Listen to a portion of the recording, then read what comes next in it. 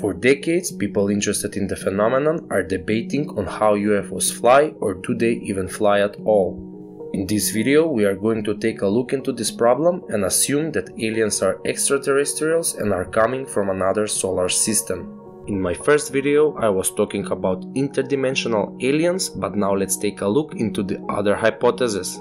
What if they are visiting us from very far away and how do they travel such a vast distances measured in light years? Many researchers are suggesting the exotic anti-gravity system that frees the craft from the force of gravity. This exotic propulsion system is required if we want the UFOs not to break the known laws of physics.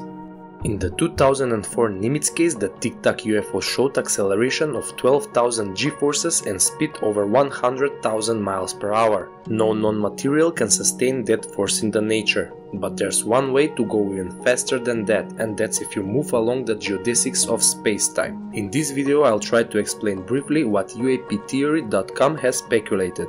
I strongly recommend you to read the entire article, I will leave the link in the description.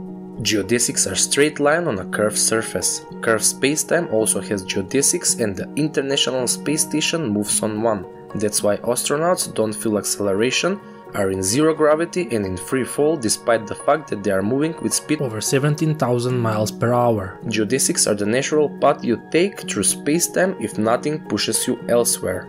So if UFOs are moving across the geodesics, they don't feel acceleration and can travel very fast but because geodesics depend on the curvature of spacetime, they are fixed, so UFOs will need to have some exotic propulsion system that allows them to curve the spacetime into the required shape and create geodesics to move freely.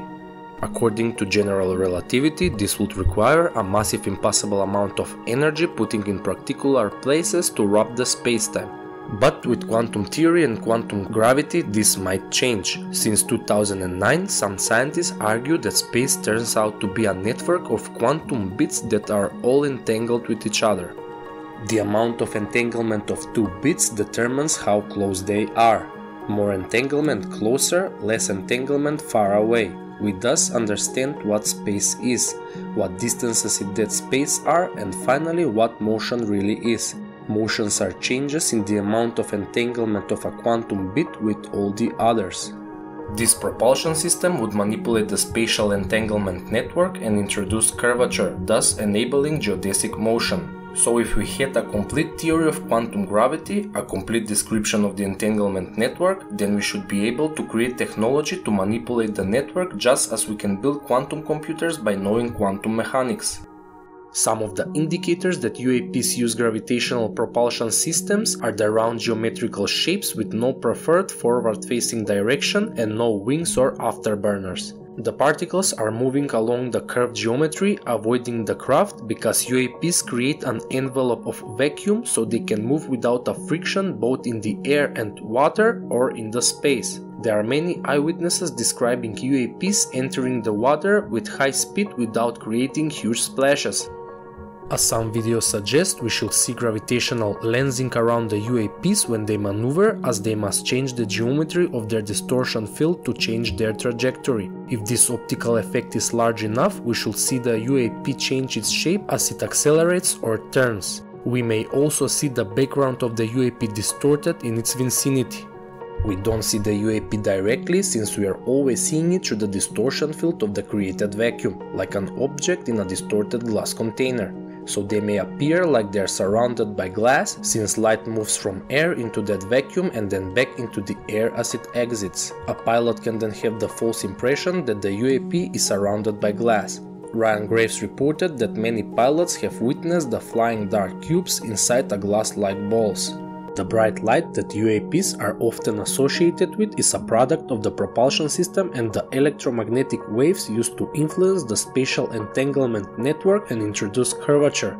UAPs emit a bright light signal that they send out to touch all the points in the space that they are manipulating and as we said every point in space is a quantum bit and the continuous space is due to the entanglement between those bits. Since the light is actually a part of the propulsion system, we expect it might change depending on navigation. For example, if UAP accelerates in any way, the intensity should increase or color might change. UAP theory speculates that the reactor on the craft changes the created entropy into electromagnetic signal and transfer it into the entanglement network producing curvature along the spatial points touched by that signal. This means that the reactor produces gravitational field because the gravitational field is the entropy itself. This is very similar to the propulsion system that Bob Lazar has described while his alleged work in Area 51 on reverse engineering UFO crafts. His description is that the UFO reactor produces gravity and once you can produce gravity you can do whatever you want from bending space to time travel. Maybe in another video we can look into Bob Lazar claims if there's interest, so let me know down in the comments. This technology can also be used to lift objects, people or cattle by the UAPs. To do so, a beam needs to be projected to touch all the spatial points between the UAP and the ground. The electromagnetic signal produces the curvature and makes the objects fall up into the craft. The object would feel weightless but needs to be protected from moving sideways through the beam and falling out of it. This means the beam also produces a curvature that keeps object from falling out. An object lifted by such a beam would feel pressure from the sides but also experience weightlessness due to the free fall motion. The same technology can also be used to create electrical currents in any device. By projecting a beam and exploiting the link between spacetime and electromagnetism, any technology can be manipulated, nuclear weapons disabled and missiles sent back. There's also speculations that this link can be used to change and manipulate our own perception and reality because our body and brain also send electromagnetic signals. There was and still is an effort in the military to create or reverse engineer this exotic gravitational propulsion system and there are even patents made by the Navy and Salvatore Pais. So in my opinion we should take this concept and theory very seriously. I hope you liked this video, be sure to hit that like button, share and subscribe with notifications on. Right now I really need your support, so if you can please consider supporting me on Patreon, that's my only way to make this channel self-sustainable. Big thanks to my 10 Patreon supporters. Link is in the description. See you in the next video.